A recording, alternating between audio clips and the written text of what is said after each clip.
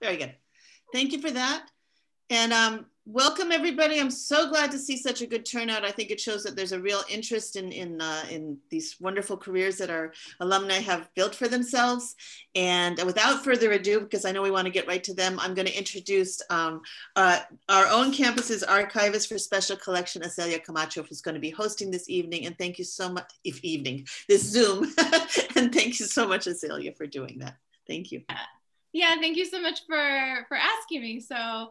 Um, I am going to introduce our four panelists. Um, so I'll start off with that. Um, our first panelist is Amalia Castañeda. She's the archivist at Gerth Archives and Special Collections at CSU Dominguez Hills. Amalia graduated from Cal State LA with an MA in history and received her MA in library science from UCLA. Um, our other panelist is Teresa Chapa. She's a Latin American, Iberian, and Latina Latino Studies librarian at the University of North Carolina, Chapel Hill. Teresa received a BA in Spanish and an MA in Latin American Studies from Cal State LA. And she also has a PhD in Latin American literature from the University of Kansas and an MA in Library and Information Science from North Carolina Central University.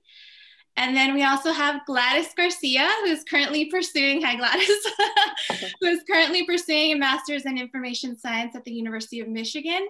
Uh, Gladys received a BA in Asian and Asian American Studies and Latin American Studies from Cal State LA. And she's also been awarded the Spectrum, Spectrum Scholarship from the American Library Association. Um, and then last but not least, we have Jimmy Zavala. He is the teaching and learning librarian at the Library Special Collections at UCLA. Um, Jimmy received a BA in Latin American Studies and an MA in History from Cal State LA and an MA in Library Science at UCLA. So so we have great panelists for you today, and I'm really excited to be part of this as well. Um, and thank you for letting me be part of this, um, Dr. Erika Verma and Enrique Ochoa. Um, and we have a couple of questions for our panelists, um, just to get the discussion started, and everybody will get to ask questions afterwards. Um, again, Dr. Erika Verma mentioned that this is kind of informal and casual, so so um, hopefully we have a really great, vibrant discussion about um, careers in archives and libraries. Um, so first off, I'd like to ask, could you all speak about your academic trajectory and how that led you to a career in libraries and archives? And whoever would like to start first from our panelists. Uh, or you want me to call on you? all right, all right, I'm gonna call you. Okay, how about Jimmy? You start off. Sure. Um, know, thank you for uh, Professor Chow for inviting me to be a part of this panel. It's definitely nice to see you and I'm Gladys and Amalia, and nice to meet all of you who are here today. Uh, just happy to be here. Um, yeah, so I, think, you know, my interest, uh, you know, in the profession really started, you know, I was doing the master's in history. Um, you know, when I was doing the MA program, you know, there, I was working at the LAPL, the Angeles Public Library.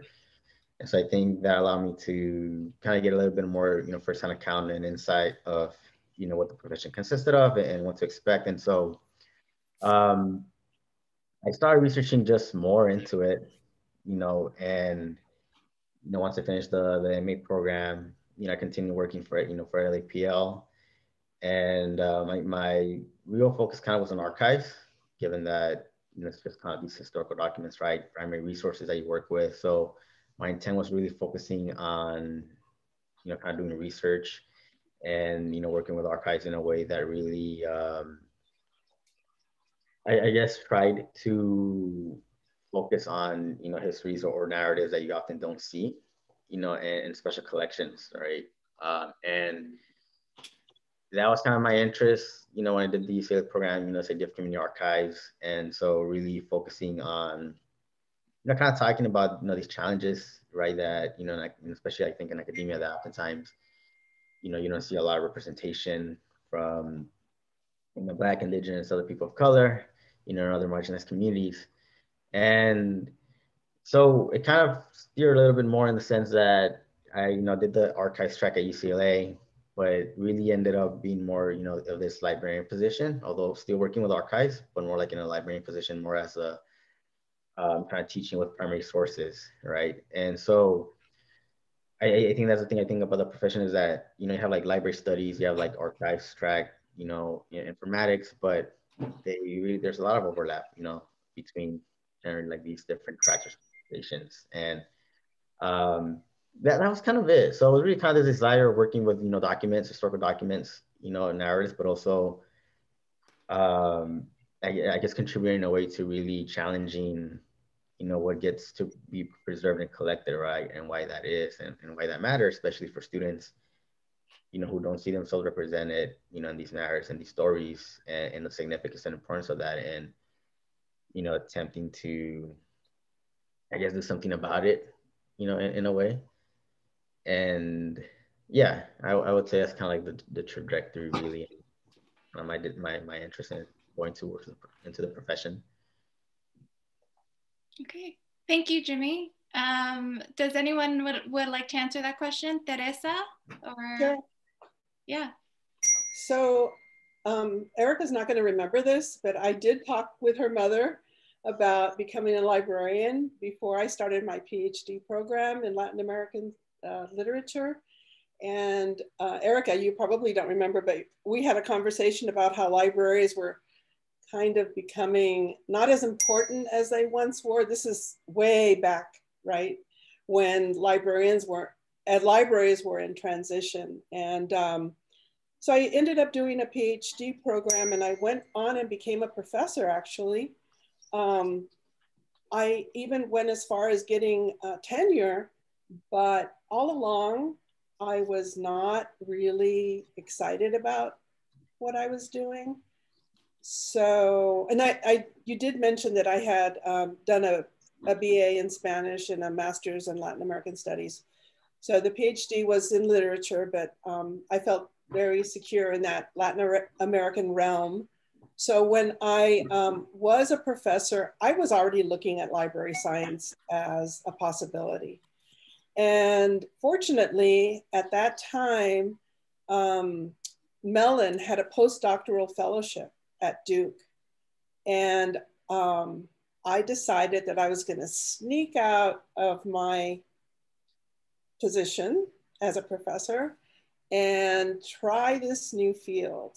And this was exactly the right program for me because it was for anybody with a PhD in a Latin American related position or um, discipline. And so it was a way to bring subject specialists into the field. And that's my trajectory into library science. Um, so it was like a back door. So I would also call this a second career. Um, Did you ever think about going into library science when you were at Cal State LA, or was that was something that was more in your mindset when you were, you know, pursuing your PhD? I think it was uh, just about the time that I was in the middle of my PhD program. And it wasn't even that I um, was that motivated into it. It was just that I didn't want to write a dissertation, I think. Okay. it was just so frightening. I didn't want to worry about it. I was just looking for a, a way, another route. And um, I don't think I really pursued it seriously. It wasn't until um, I actually, when I was a faculty member, um, I was the liaison to the library. And I learned more about the library side of things um, then. Mm-hmm. So. Okay. Thank you, Teresa. You're welcome. All right. Um, Gladys. Can you repeat the question again? Uh, how was it our career tra trajectory into yeah. LIS? Yeah, so could you speak about your academic trajectory and how that led you to, you know, an interest in career in libraries and archives? Yeah, so the my interest in archives didn't really happen until like my last year at Cal State LA, and by that point I was doing my, a joint program in Latin American Studies and Asian American Studies, and I was already working as the library clerk for the Latin American Studies program. And for the Asian American Studies program, I was a part of a um, oral history project in which like I worked closely with the special collections and archives on campus to like eventually have those um, interviews like incorporated into the archives. And um, while I was working as a library clerk, uh, it was my last semester there that I got an internship there at the archives on campus. And um, while I was there, I was doing my internship and I was making up a collection of materials from the LAS Center, uh, specifically on Central American solidarity movements in, in the Los Angeles area. And while I was doing my internship, I had the opportunity to visit Guatemala as a human rights observer with an organization called NISGUA and there i was kind of like oh my goodness i could like pursue a career in archiving archiving uh, litigating litigating for human rights abuses. And so since then that was in 2017 since then i've still been like dead set on pursuing a, a career path with doing archival work with human rights abuses. And i'm in michigan at the moment finishing up my um, my master's in information sciences and you'll be graduating this spring? Yeah, this upcoming spring, or at least we call it winter 2020, 20 winter semester because the majority of the semester is winter. Uh, not, I'm not, I'm still not used to being in Michigan, but it is what it is. Thanks, Gladys. Amalia?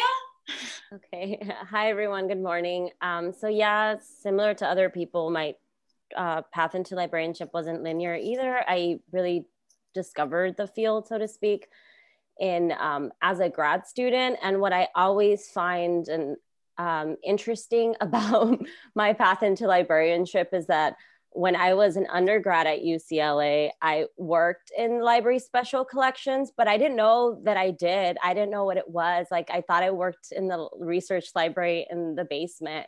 So I, it's a hilarious story because I, it I honestly can say it didn't click that I worked in special collections until grad school when I decided I want to be a librarian. And I look back and I'm like, oh my God, that was the special collections department. So I always use that story because I think it's like very telling about sometimes like the invisibility of students in spaces like that, like all students, I think, but especially like students of color, um, because I didn't, you know, find myself in the space. I quickly left for another job within a few months um, so I always feel like that story is a nice, um, uh, I, I, think it's very telling um, because when I was an undergrad, I, I, you know, I was, I didn't study history. I went on to, a, you know, a graduate degree in history, but I was studied political science and I was actually caught in some of the pipeline programs really early on at UCLA. So I was a freshman and I'm like, I'm going to become a professor. So I like worked my four undergrad undergraduate years doing undergraduate research and and you know all that. I was actually in the Mellon program, which was the first Mellon cohort um, in the West Coast at UCLA back in 2008 so again i was like set on that path i'm going to become a political science professor. Then i hit my you know senior year and you know you're meeting all these like really talented students across the country that are just like confident and articulate and i was just like everybody's smarter than me. I can't do this. I'm not going to do this. So i graduated and you know i had like i look back and my cv maybe i could have gone to a program. I mean i had the research experience good grades but i really felt like I can't do this. Like everybody's so much smarter than me. I can't do grad school. So I took three years off and I was working a lot of random jobs. I was like a medical biller at one point doing administration. I worked for UCLA parking. I even interned at an adult school because I thought maybe I could teach English to adults. So I did like a little bit of everything. And that's always like the gap year that I sometimes forget that happened. But it was like in my mind, it was very frustrating by because when you're in your early 20s, like you think your life is over. But um, at that point, I thought, oh God, what am I going to do? And I think it finally hit me by my maybe second, third year that I was like, you know what? I should take a shot at grad school. Maybe I can survive it. and so I decided to, you know, um, my, you know, uh, my my my good people around me convinced me that I was fine. So I went into I went to master's program at Cal State LA in history again, having taken that three year weird gap of um, random jobs. And that's when I uh, started volunteering in the archives there. There was a, I, it was at the time they were doing a Ruben, a Ruben uh, Salazar exhibit. So I was there, um, I think to get my ID or something. So I went into the library and it was like, oh, that looks really cool. They're putting up this exhibit. Like, I kind of want to learn about that. And that was how I contacted Azalea and said, hey, this is who I am. I really don't have a background in this, but like, you know, I work really hard and I want to learn. So, and I went into her office, and this was like literally, I think, six years ago, and it was in the fall of 2014 and and yeah and we've been uh, inseparable ever since you know we're colleagues now and and friends and um, you know learned a lot from learned a lot from archives from azalea and then went on to sort of take on a, a range of uh, different opportunities. So it was really when i was in the history program that I, I went into the history program thinking i wanted to do a phd in history. That was my track. And then i discovered the library. So i kind of switched gears um, halfway through that. And professor ochoa witnessed that as well and um, when I was working with him on my on my uh, research and thesis, and yeah, and then I went on to the program at UCLA, and uh, soon after I started a position uh, at Cal State Dominguez Hills, which is where I am now. Thanks, Amalia. I have a similar experience too that I'd like to add to what you were saying about your experience at UCLA and not knowing that you're you're actually working in a special collections. I actually, after I uh, graduated from, I was a communications major in journalism. After I graduated from Cal Poly Pomona, I'm also part of the CSU system, um, but I graduated from Cal Poly Pomona, got a job at UCLA working at the Southern Regional Library Facility scanning and digitizing materials for JSTOR. I had no clue what I was doing. It was a temporary position for a year. Um, so I have that same experience Amalia is talking about. They actually even offered me to pay for school for my MLIS at UCLA. And I actually was like, I'm not gonna be a librarian. This doesn't seem very interesting or engaging to me. I know, I know. And I ended up after it's true, but when you think about that and what Amalia is saying is like there's missed opportunities to engage, you know, students of color in these types of things, like, you know, with the collections that we relate to or from our communities. So I've noticed that a lot within um, the profession where we have these missed opportunities or there's no exposure to you know what it really means to work in a library what it is to be an archivist or or the types of opportunities you have. So i have that similar experience. Amalia and i talk about that a lot and with other professionals in the field. Um, but yeah i just wanted to add that part because i think that's something important. But yeah to add um, and then I do have another question, and it's how did you transition from Cal State LA to any you all kind of touched on it, but how did you transition from Cal State LA to pursuing your MLIS?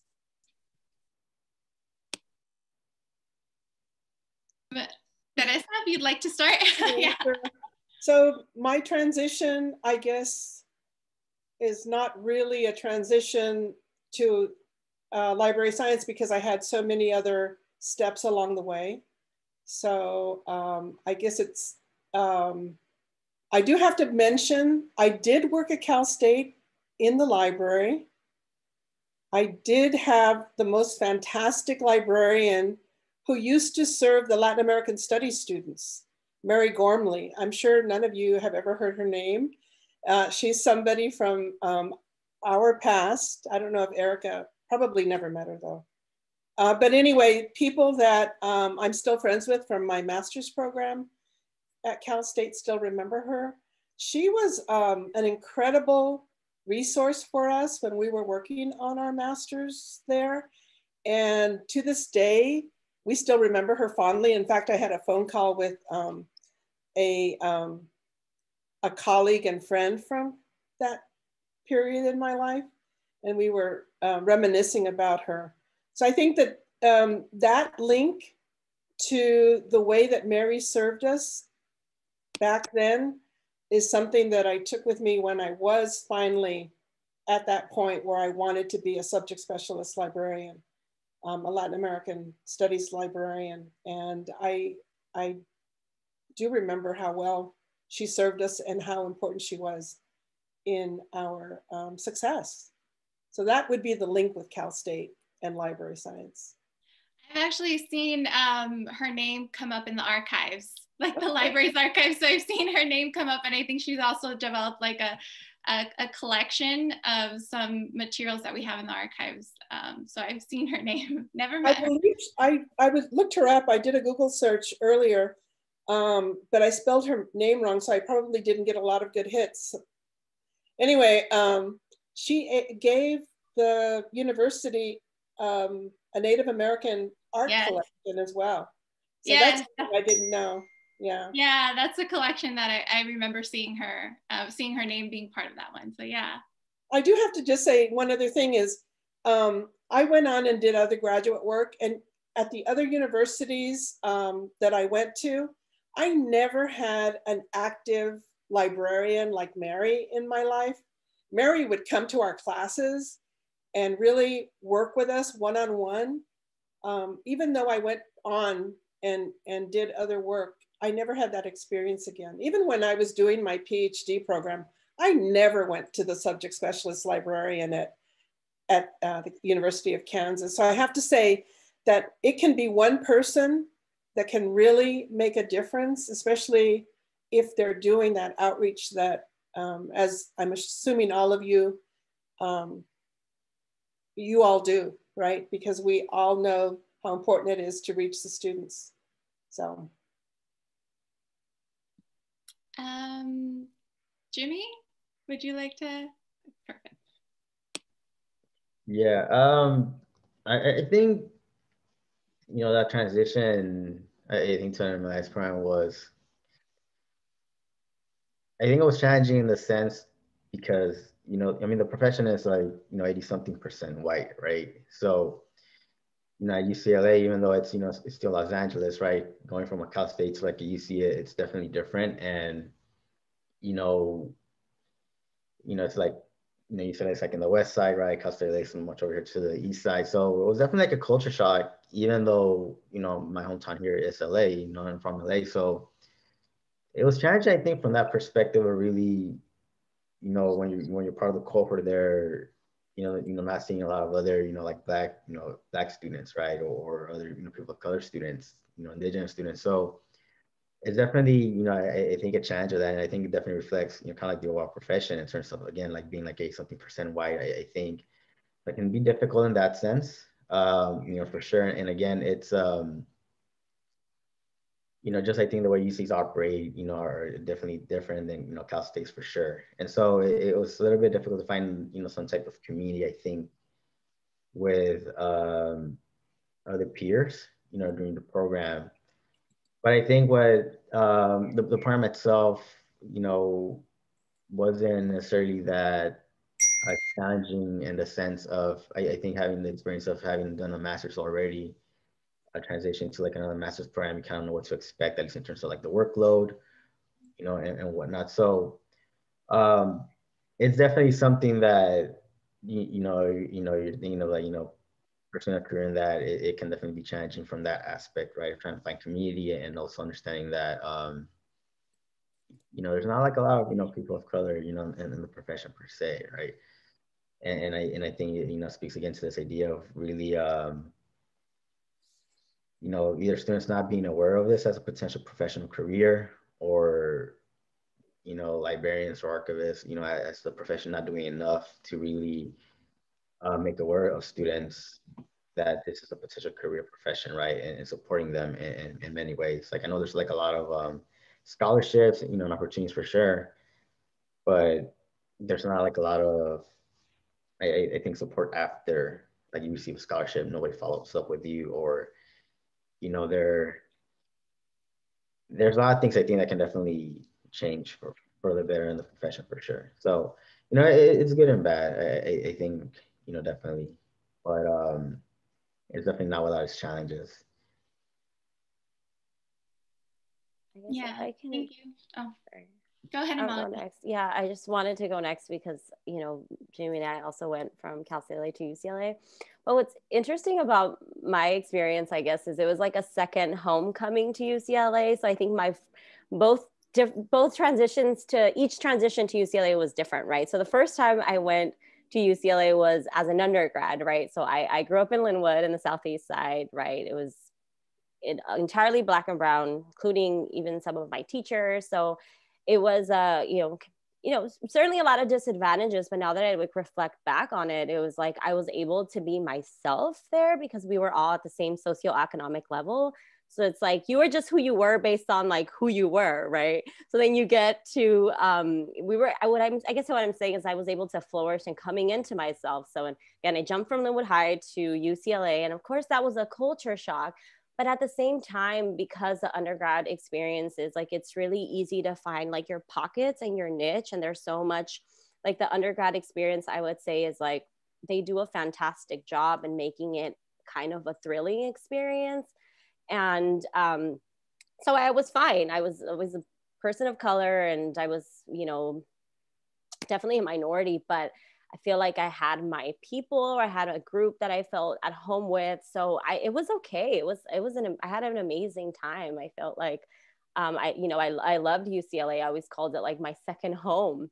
So then I came to Cal State LA as a grad student and I was like, oh, this is such a different experience. Like it was, um, it was really amazing to be able to just really be myself and not, you know, there's just so many students of color at Cal State LA where suddenly like, I think I, re- I realized then it's like, oh, I don't think twice when I speak up in class because I'm not representative of my group. If I say something off, it's me, like not saying something that's not that smart. It's not like I'm not representing my group or, you know, my background. So that I, I came to terms with when I was at Cal State LA. And I really, really like loved my experience there from the professors I met to the students that I met.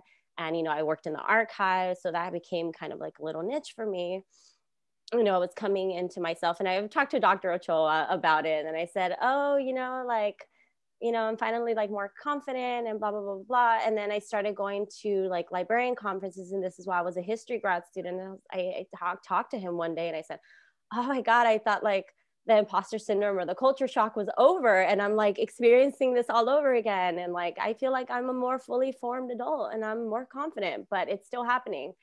And then I go to UCLA again for grad school. And it was like culture shock times 10 for me. I was felt again even more intimidated or more defeated at times than when I was a freshman, right? Maybe because I was more wide eyed and optimistic when I was a freshman, or I didn't notice what was around me. But um, yeah, I think there were, I think in my, in co- my cohort, there was, I think there were fewer than 10% students of color, and that included all of us, right? We had no no Black students, uh, maybe two Asian American students, um, two, maybe two Latinas. I don't think we had any um, Indigenous students. So it was like a very non-diverse cohort. So um, it was, it was very depressing my first semester.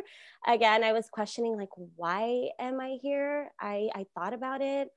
Um, wasn't sure if they had made the right like choice. Like i knew i wanted to do this work because i had worked in the archives before. I done the i had done the, the actual work right? But um it was like a pretty like awful experience the first year.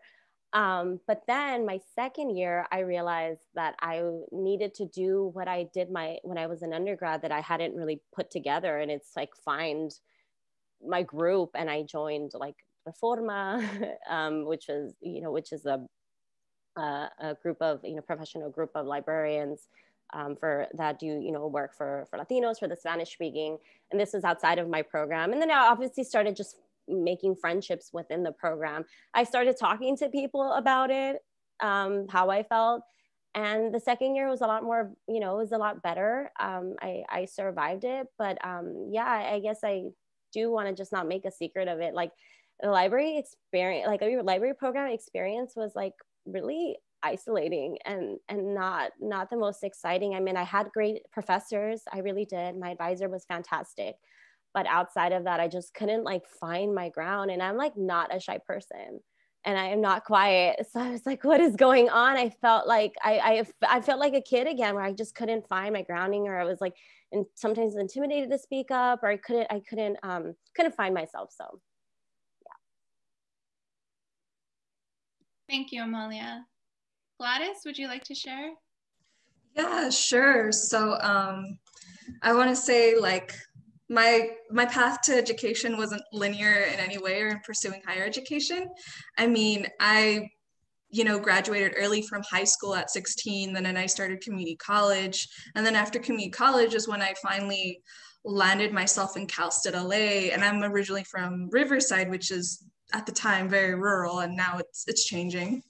Um, but like once I landed myself in Cal State LA, and then like getting immersed in like the activism there and pursuing uh, my Latin American Studies degree, you know, you know the the wheels were turning in my head that i was interested in doing something else outside of like you know being a professor or let, let alone getting deeper into nonprofit work um, and so when i made the connection like especially working at the special collections and archives on campus that's when i kind of like realized like oh my goodness i could pursue a career in archives and then especially like um, doing taking the trip to Guatemala and visiting the Archivo Histórico de Policía Nacional, uh, that I realized I could do it in specifically in the support of like litigating for um, human for cases of human rights abuse.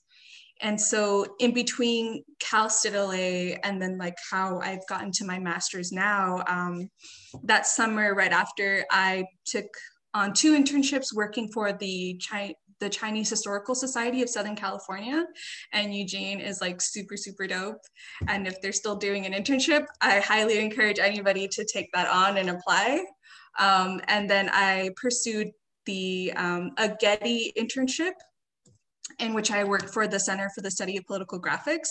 And with either of those intern internships, I wouldn't have done it had not Dr. Foon um, you know, encouraged me to do so, and as well as Azalea encouraged me to pursue the Getty one. Um, so I did those two internships. I took two years off between like getting my BA and my MA, and I worked for a community health center in Los Angeles, specifically in South Central, in um, development. But in between um, my BA and my M and my MSI, yeah, my MSI degree, I still volunteered my time, uh, still volunteered my time cataloging like the books and, and periodicals at the Latin American Study Center. And even though I wasn't able to go as often as I would have liked, I did it like at least like once a month or every two weeks. And I, that was like a labor of love because I was like working on that collection for like almost three, four years, like from the time I actually started work was actually an employee there and then still working on it as a volunteer. Um, that was like, I want to say 2015. And I finished that, that up in 2019, I believe. Um, and so, yeah, but still nonetheless, like I got connected to the Los Angeles Archivist Collective and then the LA area library and information sciences, like folks in of color in the LA area. And I went to a couple of meetings with them before um, pursuing a master's in information sciences. And I wanted to do school out of state because in honesty, I knew I had a better chance getting uh, fully funded for a scholarship in terms of um, getting my degree out of state than I would have than I would have if I stayed in California. And so I ended up here at the University of Michigan. And when I got accepted, or when I, yeah, when I got accepted, I got accepted into all the schools I applied to. Um, but with UM, I had no idea that this was considered like a top 10 research institution or a public Ivy or whatever. I had no idea because being in the Midwest was not a priority, but things happen the way that they happen. Um, and so I'm here and as Amalia and Jimmy have said, like, you know, pursuing a master's in an, an LIS um, master's degree in a predominantly white field has been very challenging. Um, you know, and especially like since I'm far away from home, I'm the only person, I don't have any family nearby here in this state. So, you know, I've learned how to like find community in unlikely places.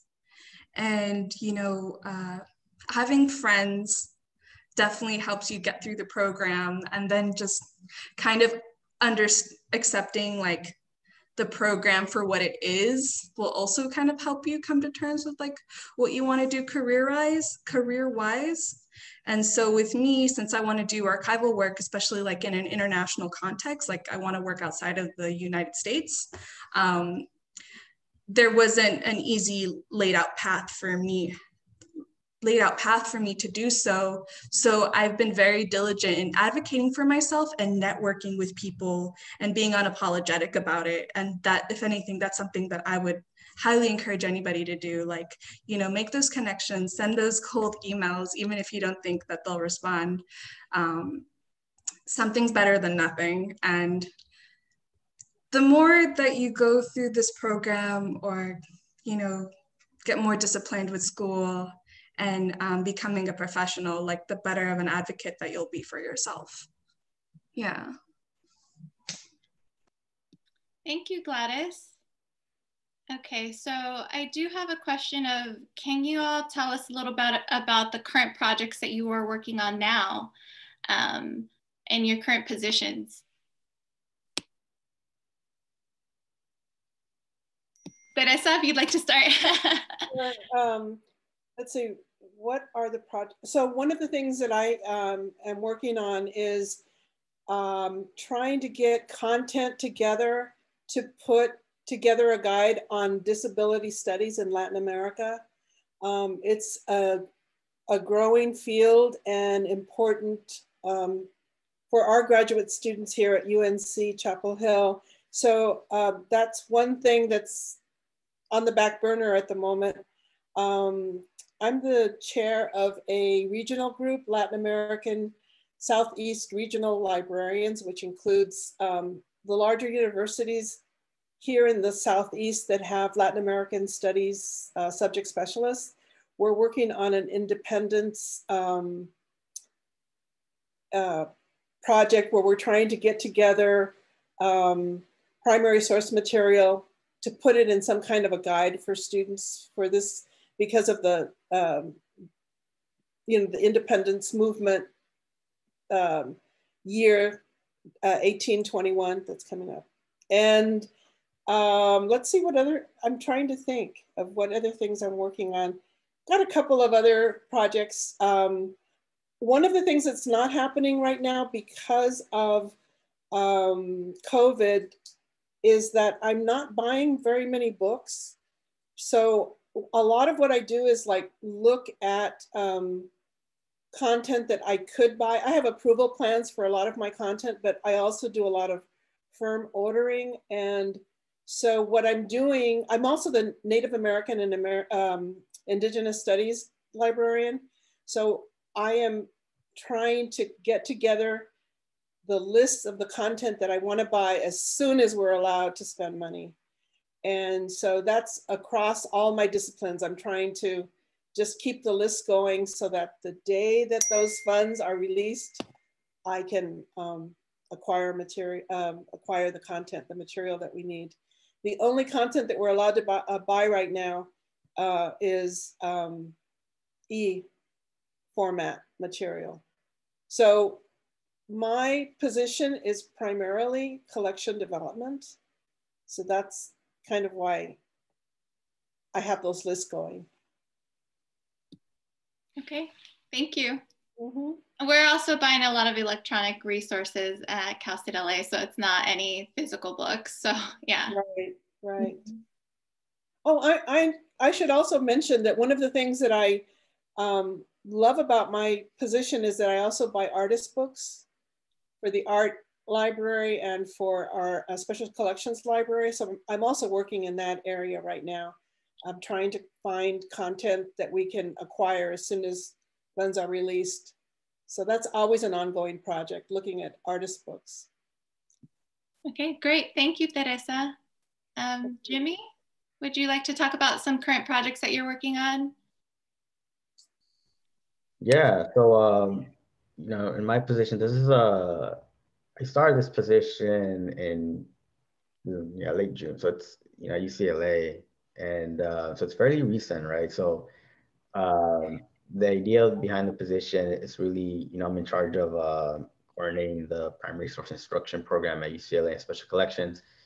Uh, so, um, you know, working with colleagues outside of, you know, special collections, just general librarians who do instruction, collaborating with them, and also um, really, I, I, guess, expanding the you know, the, the program at UCLA, the primary source instruction, since they never had a dedicated individual to specifically focus on, you know, primary source instruction.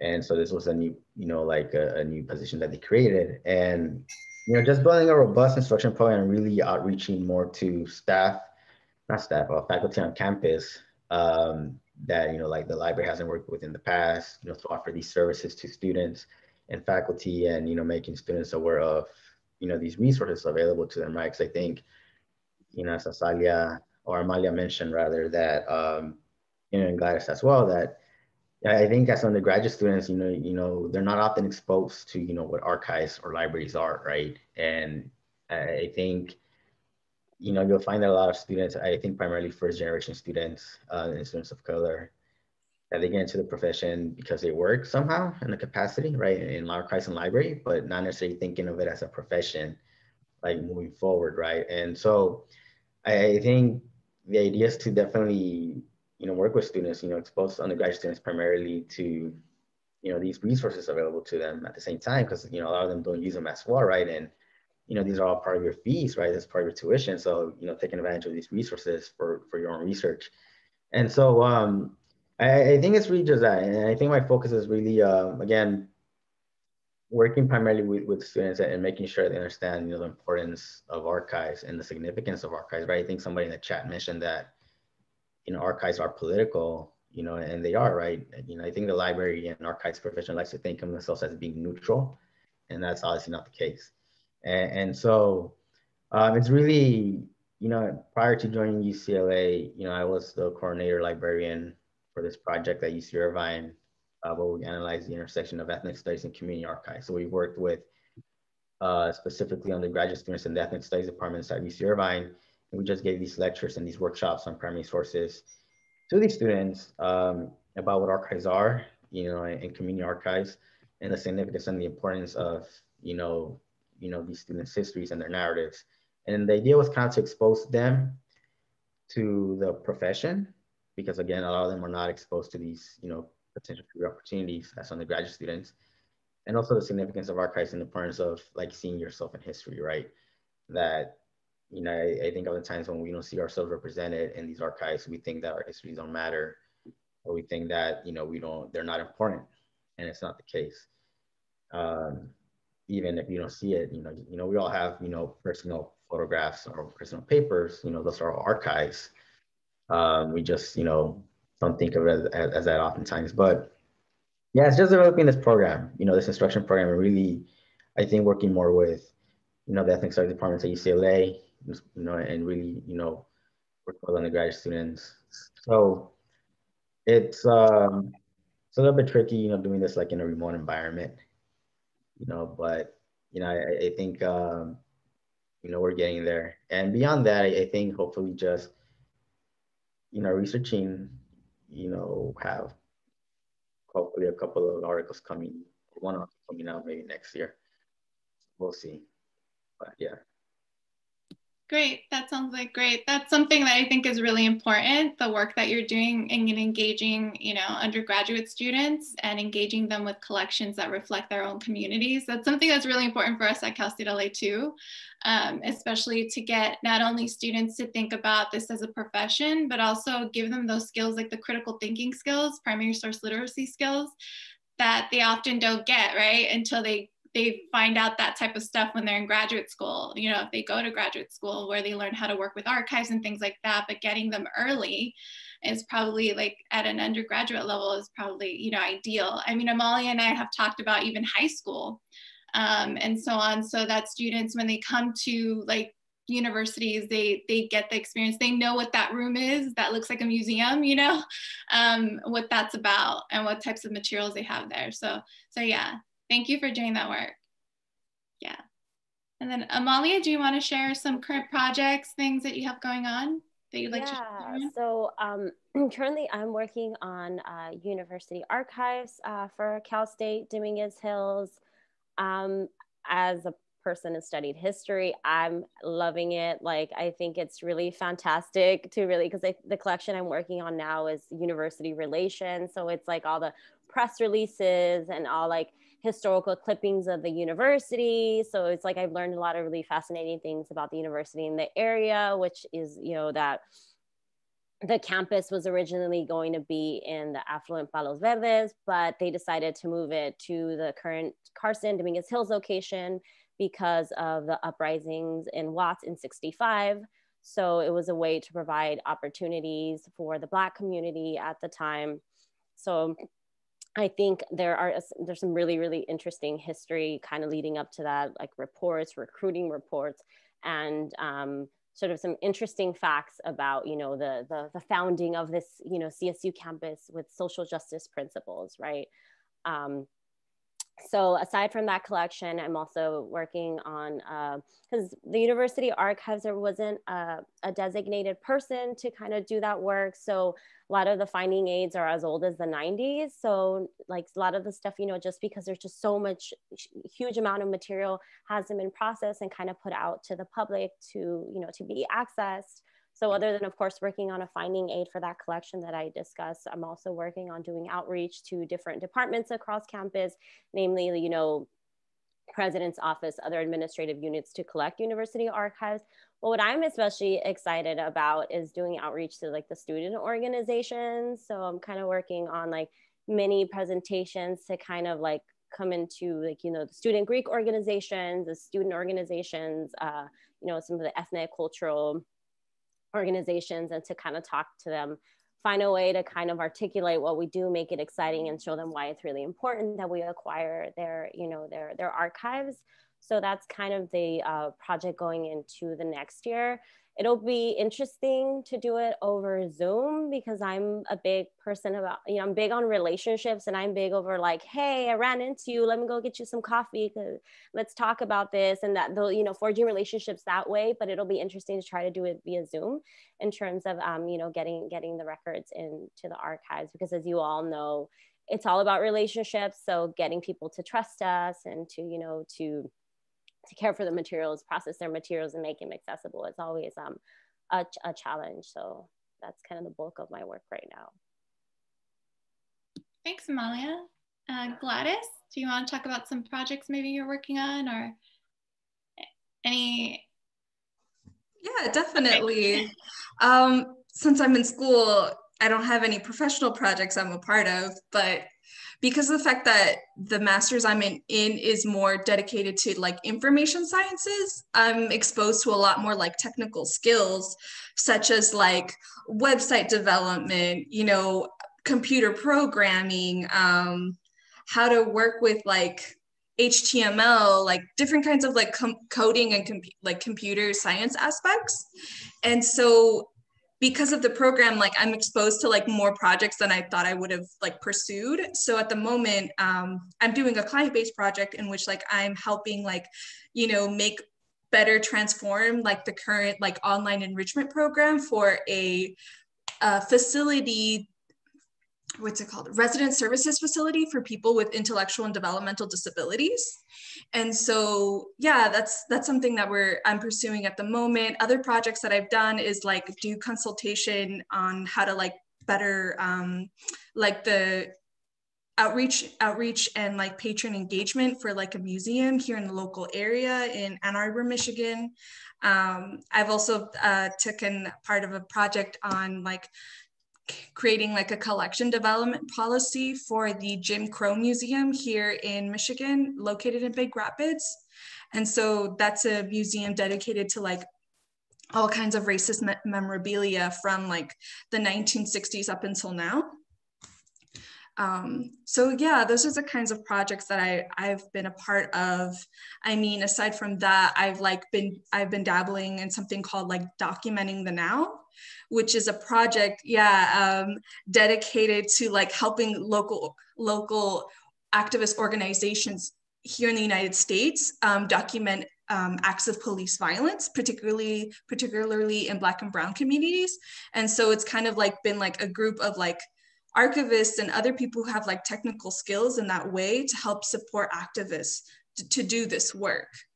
Um, so that's been something I've a part, been a part of. I mean, aside from that, I'm, as I mentioned earlier, doing a lot of the networking. And I recently applied to the a job with United Nations, which would potentially um, place me in Santiago de Chile. So with the Global and Communications Department. And so, yeah, those are more or less like the projects I've been a part of. I mean, yeah, school keeps me very busy. I haven't been able to like devote time to other things, but um, yeah, those are things that I've been a part of. Those sound like great projects. Um, and you'll be graduating soon, so yeah. Um, so I do have one final question and then we can open it up to um, participants or um, people who are part of the the session today to ask questions because I noticed there's some questions in the chat and we can get to those later. Um, but this is the last question I have. I know you all kind of touched on the challenges of going to MLIS programs and, you know, the profession and, you know, what kind of, knowing those challenges, what kind of advice would you give to, you know, students now that are really interested in pursuing an MLIS? Or, you know, how can they get started also too in the program uh, or you know, I know that sometimes it's really difficult to get into this field because even if you have the education, but you don't have the experience. So what type of advice would you give to a student that's that's interested in pursuing this? Um, Teresa, if you'd like to start, yeah. I'm always starting first, and then I think of what I really wanted to say when I've heard other people talk. You can always add later. You can always add later. This is a discussion. So yeah, you can always I add. want to mention one thing that unfortunately ended with um, working from home, but, and I'm very interested to know if people have had um, good experience with this. We've been trying to do outreach with the um, K through 12 community here so that we can share our collections with the K through 12 community. So one of the things that we've decided to do was to take artist books and zines to the high school art classes and talk about them and encourage them to um, not only come to visit our own collections, but to also make them. So we were going to do this whole project where we were making zines with high school students. And so when I heard all of you talking about outreach and community um, projects, I would love to know how one successfully does that. So that's for another moment, but I, I'm throwing it out there because it's so hard to do. And of course, it was all um, interrupted, but um, I'm really curious. So if anybody does have any suggestions about that, I'd be happy to have a conversation afterwards. Um, in so we have a library school, and I see that many times um, I meet with students who are uncomfortable just, you know, we've already talked about this a bit. I haven't, but others have about how there aren't many people of color in library school programs and um, they feel disenfranchised. Fortunately, um, many have come to me even though they're not doing um, a degree. Their MLS has nothing to do with uh, being a subject specialist librarian, but they, um, I feel that uh, it's important to have some kind of interaction so that that um, discomfort they feel is at least um, uh, dealt with so that they feel comfortable in the experience. So I would say that I would look really carefully at the library science program that you um,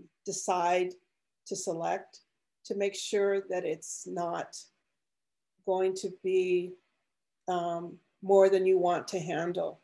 It's hard to move to the South. It's hard to move to North Carolina and live here. Um, I don't know how you feel in Michigan, but I love Ann Arbor, by the way. So I think I would feel comfortable there. I don't like the cold. That's oh, part of it. Right. And then like, there's no such thing as like good Mexican food here. It's just spoiled California people. We have the best right. produce. right, right but you know it's i think i don't and you'd know more than i because you're in a program right now. You've got to know that your program is going to be fulfilling in some way. And if you do feel uncomfortable that there are other um, there are things that make up for it like excellent faculty programs um, that you can participate in like you're engaged with the community which is excellent. Um, so I would be very careful about the program you choose. Other than that, I think that um, finding mentors, um, and they don't have to be where you are, but somebody or a group of people that can help you through the difficult parts. So I didn't go through a traditional library science program because I did that postdoc. Um, so I don't have that experience, but I've seen others go through it and have so many challenges. And it's very frustrating to see um, people feeling defeated and dejected because they don't have um, the colleagues that they expected to have. They don't have the environment that they wanted um, in their graduate program. So that's all I can offer right now. Thank you. Would anyone else like to, to add to that? Yeah, I I can connect with what Teresa just said. Uh, thank you for explaining that uh, very well in terms of like researching like where you're potentially interested in doing like your master's or your MLIS or MSI degree.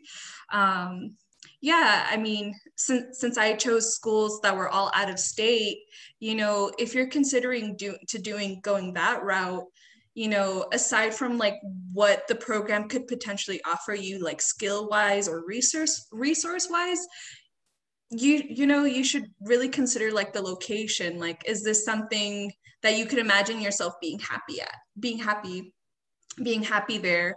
Because if it's like far away from like from your home or your community, um, is there an existing community that you could get tapped into? And if not, um, you know try to get to know like your co- cohort and kind of plan like maybe you know these are people that you could potentially be friends with. So yeah cons- consider the locations considering the locations a big thing. I would also say um you know really like cement those cement those those relationships with your mentors that you have already going and like see if they have like any any like opportunities that they know of or could connect you with people. Um, re- research professors or people who are doing kind of like research interested in what you're like kind of interested in at each school that you're looking at because it'll help inform like your your your research statements and your statements of purpose when you apply. But like also those are the people um, you would want to eventually get connected with once you once you get there. Um, i guess yeah uh, and another thing would be, um, you know, re- research research all the scholarships possible. You know, definitely from the Society of American Archivists, the American Library Association, and then there's a couple more based on like the region in the United States. Um, and so, yeah, yeah. Um, and if the school, if you want to try to get it to uh, a scholarship for school that pays for your entire schooling, um, you know, research research that as much as possible. And yeah yeah and decide whether or not you like to be somewhere where whether or not you could be somewhere cold. Okay thanks gladys. Um jimmy would you like to share? Uh, yeah I, I, think you know besides what you know teresa and gladys already mentioned also um you know, there's also online programs. So if you know, you don't you know, there's some in library schools where you know you don't have to be there uh, physically in person. They offer online. I think San Jose State's one of the programs offer online. I think Simmons in Boston. So there's there's also opportunities. I think, you know, if you know, if it's more if it offers more flexibility, I guess, you know, to students because sometimes you know you're working or whatnot, you don't have to move there physically. That's also like another option. Um, and you know, I, yeah, I, I, think networking is important. You know, that's like kind of Gladys already mentioned it. Um, if you're able to like join professional, you know, memberships like you know Reforma, Amalia mentioned Reforma, or you know the American Library Association, just to get a sense of you know what to expect. You know, there's also like local groups like you know, uh, Gladys mentioned Los Angeles Archivist Collective. Um, there's like a Librarians of Color Los Angeles group also. Uh, so different types of, you know, I guess organizations also outside of professional memberships that, you know, you can, you know, talk to individuals, network, you know, what their experiences are in the field. Um, and also, you know, if you have the opportunity, you know, you know, I, I, think getting involved, right, in like volunteering, you know, like to see, to get like, I, I think firsthand experience of what that feels like, right? Whether, I know it's a little bit difficult right now times and everything's like closed, but you know, like if it's like a public library, like at a, you know, some type of archives and stuff like that, I think that helps a lot to get really first-hand account of you know what to expect and, and also seeing whether you would think of yourself, you know, being part of the profession or moving forward. So I, I think networking is key and also, you know, definitely getting like some type of first-hand account of what to expect in the field. Okay, great. Thank you. And Amalia. Yeah, so I guess what I will say too is I mean, of course, experience, experience, experience, like getting as much of it as possible in any way as while you're a student, because that's not only when you're eligible for more things, you could potentially get like class credit for hours and things, because the truth is that this profession um, is very middle and upper class for a reason, because oftentimes opportunities are not paid, and that's a whole other issue and potentially whole other panel. But I think it's really taking advantage as much as you can while you're an undergrad or you're a grad student to get that experience because yeah, there's an allure and maybe it seems exciting, but once you're in there, like we've had volunteers when we're at Cal State LA, some people are like, this is boring, this is not for me. And then there are other people that are like fascinated by it. And you know, if it's you, it's either you love it or you hate it, right? It's either for you or it's not. And there's only um, one that didn't like it, okay? or others that may have not said it, but nevertheless, they got a good experience. It's not for everyone, right? Um, for me personally, as soon as I started working in the archive, I was like, oh, this is for me. Like it, it, it suddenly like clicked, right? Um, that I was probably, this probably was the right path for me. Um, and, and, and aside from experiences too, I say even coupling it with uh, like going out into conferences because when I was at Cal State LA, like it was most of us were obviously students of color just by the demographics of our campus. But I went into like my first uh, library conference while I was still a history grad student and as much as yeah i was probably like the only one of my background in that but nevertheless like when i was there i came back and that's when i was in the cusp of deciding whether i wanted to pursue a phd in history or maybe go into librarianship. I came back from the conference and i said oh i found my people. Like this is it. There's something about it. Like this is the right mix for me. Um, you know, because in librarianship, obviously depending on your position, there's sort of a mix of the practical and like the intellectual and the research and like like their nerdiness that like it, this was for me like i identified with it. Um, so yeah i think only being in there and again every library is different but you will get a taste obviously. So either get experience at different types of libraries um, or different types of you know different systems and then going into the professional field and talking to the people because these will be your colleagues. I think i think like you'll know you know? And i think that's why you know i think despite the many challenges that this field has, of course, and especially for people of color, like I think, um, oh, so what was I to say? I'm blanking out. Um, uh, yes, I was going to say, um, there are um, there are definitely some some really great opportunities for um, either where it's you know whether it be um, really specific interests or really broad interests right? And especially if you have you know the flexibility to move across the country for jobs then you know you kind of um, open that up for um, for yourself. So Okay, great. Thanks, Amalia. I want to add one more thing because I did go to San Jose State and I did the online program. If you do choose to do an online program, try to get experience working. I was working in a library already as a library assistant, and that really helped with me understanding because online it's really difficult to connect and talk to people, but it really helped me talk to my colleagues or my coworkers about some of the projects. And I also got to use real life projects that I was doing in the library for, so it kind of, you know, did double duty because I used them for um, my projects for my classes or my courses. So I think that's really good to point out because sometimes you feel like in library school, you might just be doing these projects and it's not gonna have like a real impact. It's just a project for the course. But if you are working in a library, make sure you take, or in some volunteer capacity or anything, take advantage of that and use it for, you know, your courses or if you can. Um, so I would, I would recommend that. Um, okay, now we have about 20 more minutes, so I'll open up for uh, questions from from the from anyone who's joining us. And I think there's a question. There might be some questions in the chat. So let me see. I think Lita asked about if Cal State LA will develop an MA in library science and archives and social justice. I know that uh, Mario Ramirez, the head of special collections, and Leti Terrones, the librarian at Cal State LA, are, are putting classes together for archival practice and also including social justice. So I know those are coming up. Um, about an MA program, I don't know, but um, at least there'll be some courses where students can get exposed to archives and social justice and social justice collections and things like that. So, so that should be coming up soon. Um, and if anyone else has, I think that's the only question I see in the chat. But if anyone else has a question, you can either, either raise your hand um, in the participants um, and go ahead and ask your question. You can add it in the chat. Okay, Nancy, go ahead and let's go with Nancy first. Hi everyone. Um, I I'm after listening to all your pen your speech, I'm like I'm more inspired now, but I'm still struggling a bit between because right now I'm a junior and I'm planning for grad school uh, already ahead of time, but I don't know if I'm doing information science or library science or work. So I was like, so what would like because I'm history major myself and with a minor too.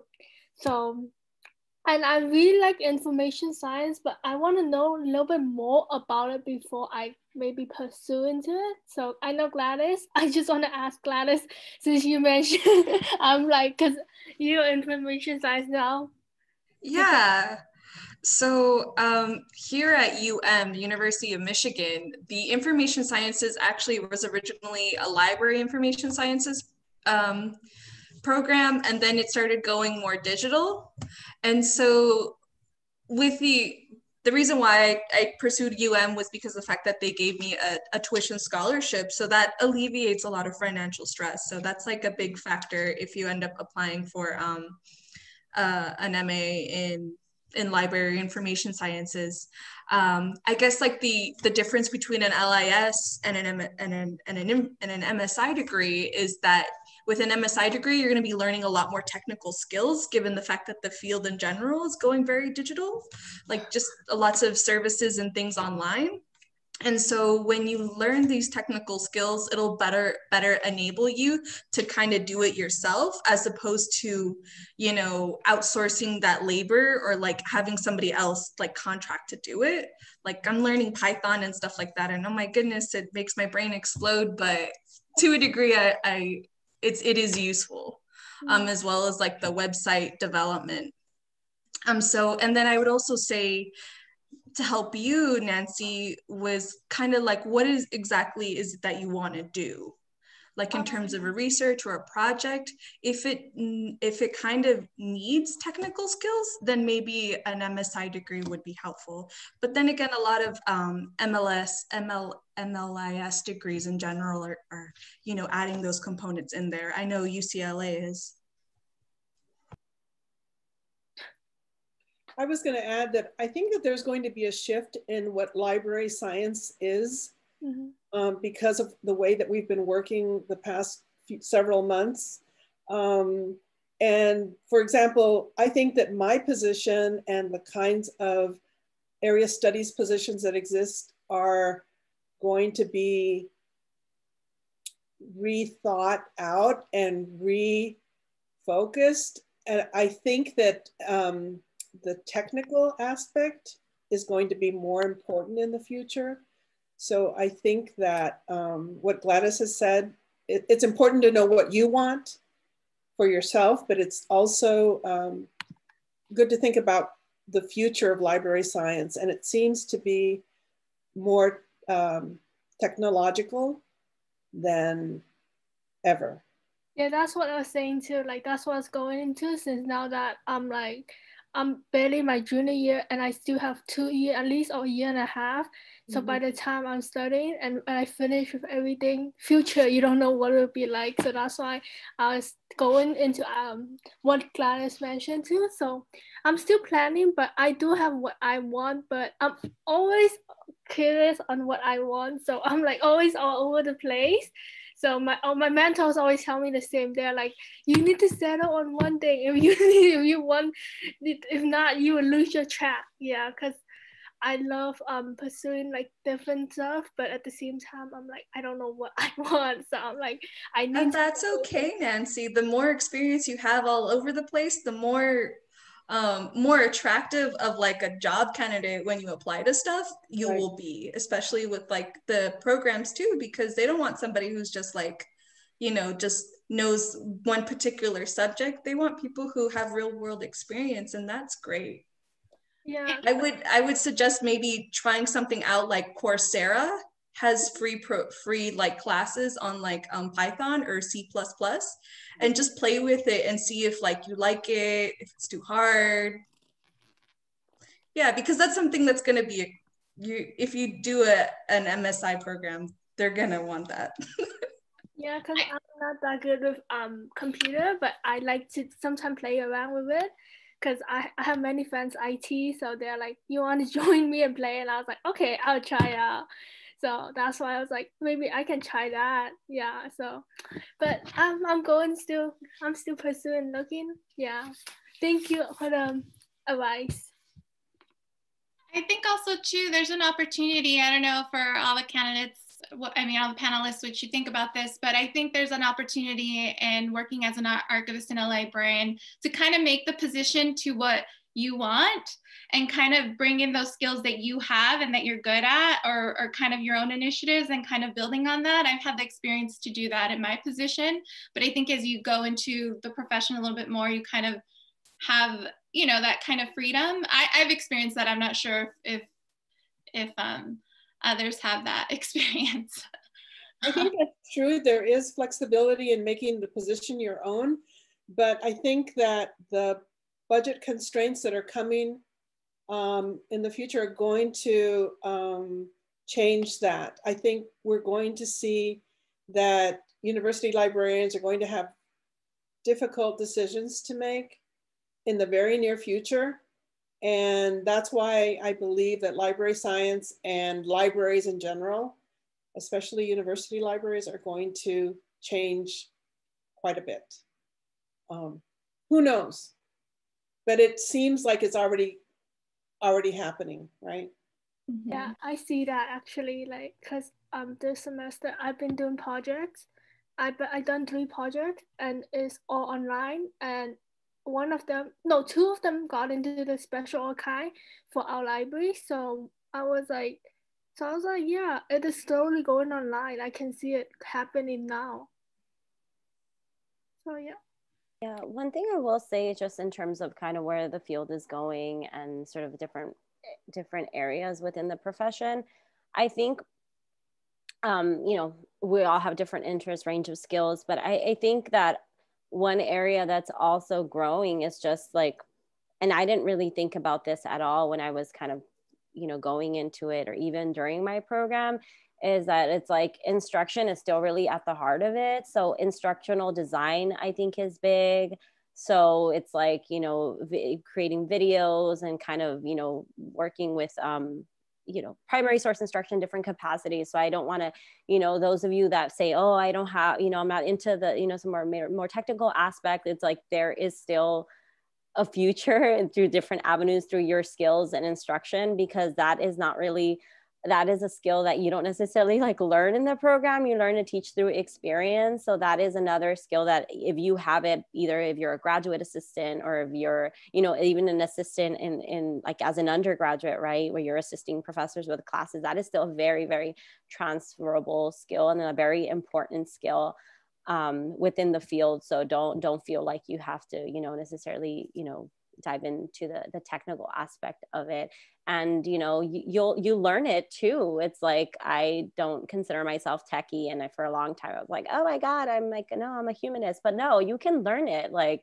you you really really can um, if you kind of decide to if you have you know certain projects that touch on certain um, areas. So and just another thing i will say the last thing i'll say is on feeling like you're all over the place like that's not a bad thing. I think part of um, coming into what you want to do is learning what you don't want to do. You know, I, I feel like I'm telling you, I probably just mentioned a few jobs, but I probably had, I think like six, seven different jobs in the, just a tiny little three year gap. So I learned about all the things I didn't want to do. And that was incredibly valuable because sometimes in this profession, I hear some of my colleagues that are frustrated and you know academia can be a certain way or you know we have frustrations we have budget restraints there's a lot of things happen in, in jobs and careers but i feel very happy with my career choice despite that. I've tried a lot of other different things that i know i didn't want to do.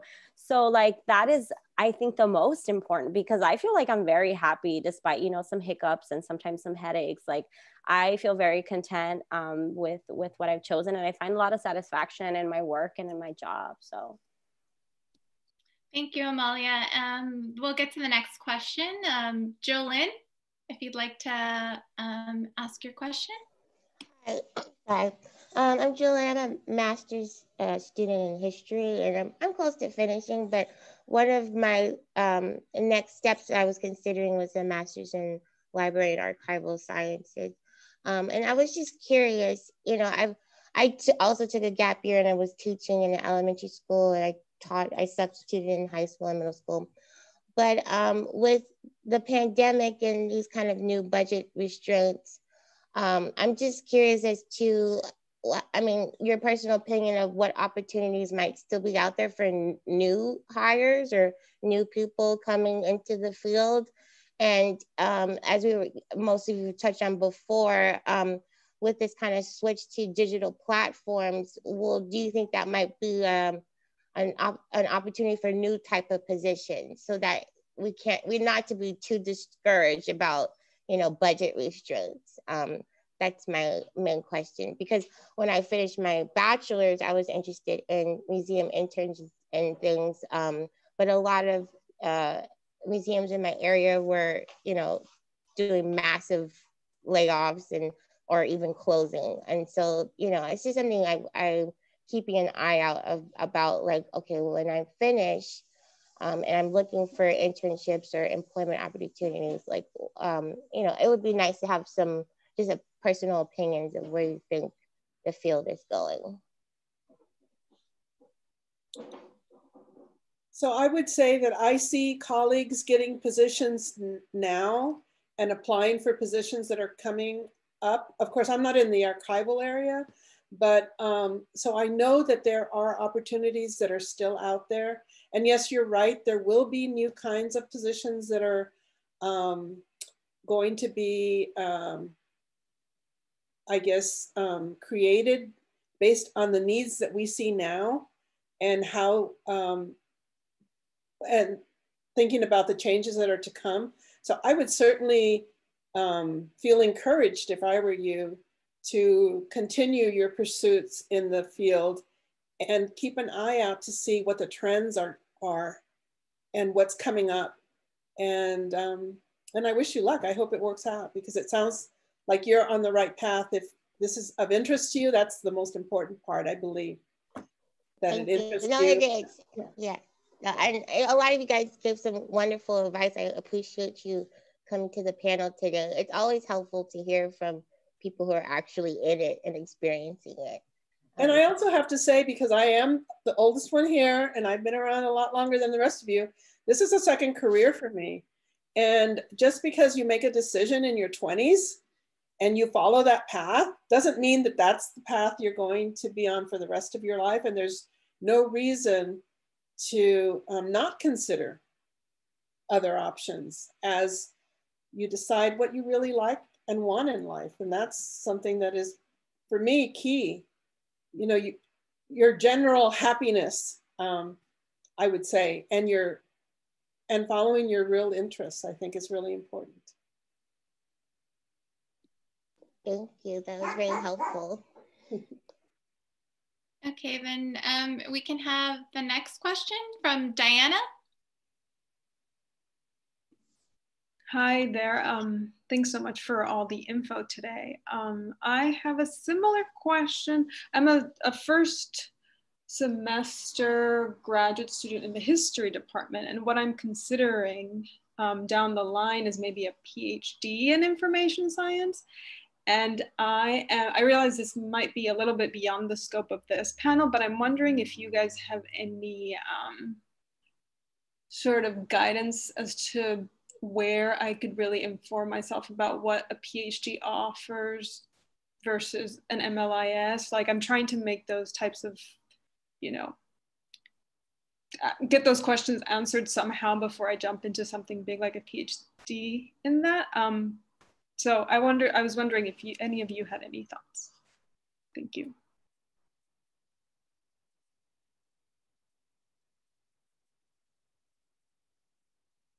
Well, I'm not doing a PhD, um, Diana, but I have a couple of friends who are like in the midst of doing it right now. I'll I'll say like probably fir- first you should probably like you know see which schools are offering a PhD in information sciences or um, uh, LIS Library and Information Sciences, and then there's very few. It's like less than ten here in the United States, and that's you know there's the one in Canada too, um, British British Columbia, Vancouver, I believe.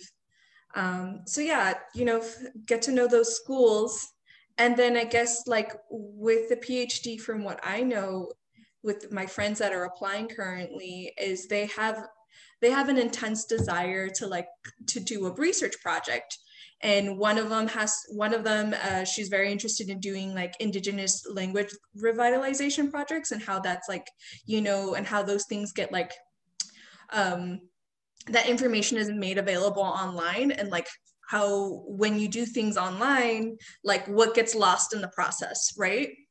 And specifically around uh, aymara uh, aymara language um, from bolivia and then the other person that i know of her project is very uh, she's very interested in doing like you know how do you make like um, what's it called uh, spontaneous archival projects available, made available online. And so she's more interested in like the technical um, aspects of it, but it like her project whole revolved around like all the political like memes and Twitter and circulation of information that was happening when uh, the governor last year's last year the governor of Puerto Rico when he was ousted um, and there was like a whole you know meme movement uh, Ricky Renuncia that was happening. And so her project is revolved around that.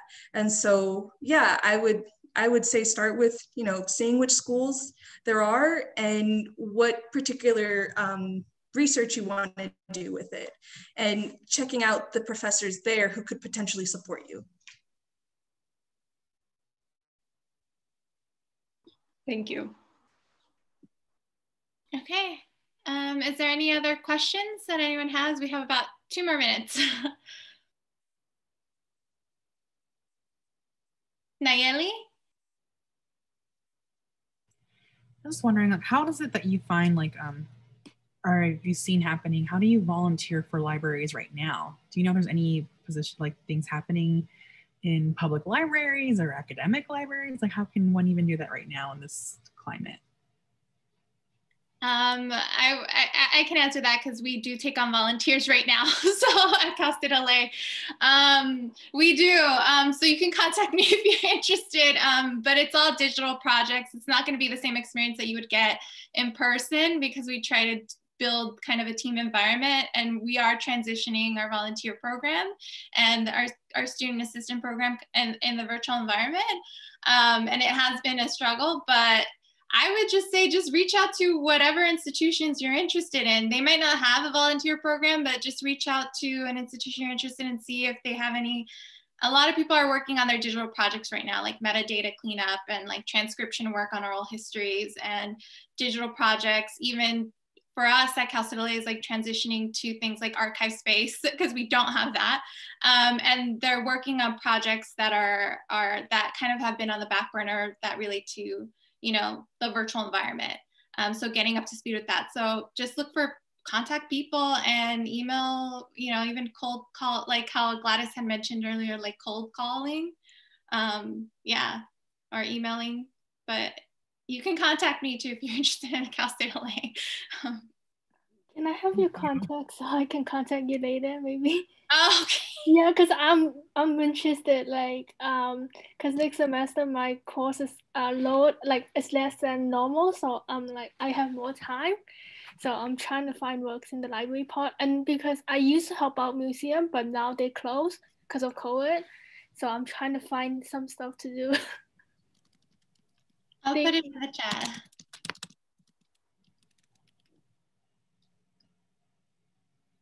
Yeah, and I think that ends it. Um, Dr. Erika Verma and Enrique Ochoa, if you want to say anything at the at the end of this session. Well, I just want to thank everyone. Uh, the panelists were absolutely wonderful and amazing. I want to thank my colleague Enrique for, for coming up with this idea and for, for making, moving it forward. And Azalea, you are a, a wonderful host.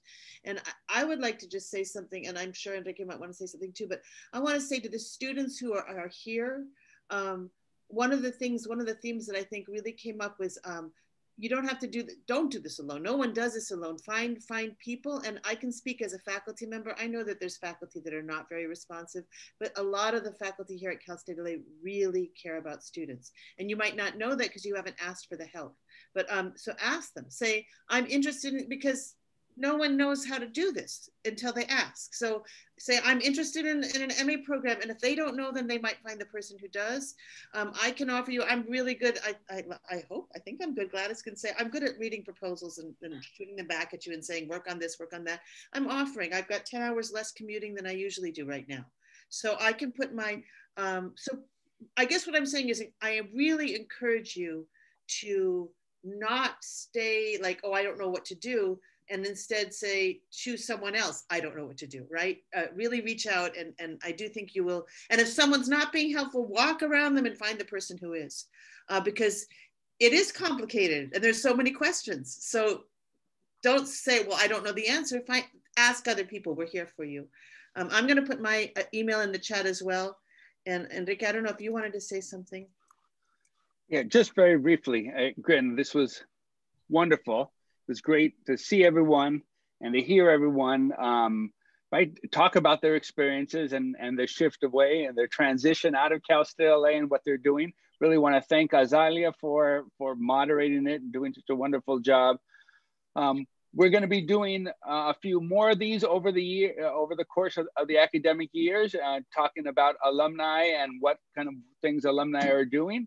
Uh, so alumni who go off into law school, alumni who are um, who are working in the nonprofit sector. So stay tuned for that.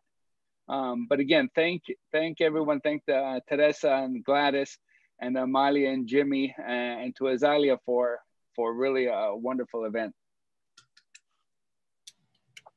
Thank you for having us. It was really nice to see everyone again. I really miss you all. yeah, no, it's so nice to see everybody and thank you for inviting me. My professor, I had class today. She was like, go do it. That's important. You get all the credit that you were going to get for participation. I was like, thank you for being, for supporting that. I forgot to say one thing that it's in the chat and we'll save the chat. So if you don't, anyway, if you miss anything, you can email me. Uh, but Kendall put up an amazing um, document. It's in the chat of, of, of, of uh, all, listing, you know, all of these organizations people have been naming of resources on basically on how to apply to, you know, on, on, on, on the whole career. So please, if you missed it, um, email Kendall, email myself, we'll find, I'll find it and send you to Kendall, you know, whatever you need. But I, I forgot to mention that. Thank you so much, Kendall. That was. And, and panelists, if you have um, other ones that I didn't add, let me know and I'll include them because I know I don't have everything and there's more resources that y'all mentioned that are good. Thank you so much for the invitation. I really enjoyed the, uh, the time we spent together. And I've put my email address in there if anybody wants to know more about UNC Chapel Hill and our, or our library science um, program. Thank you.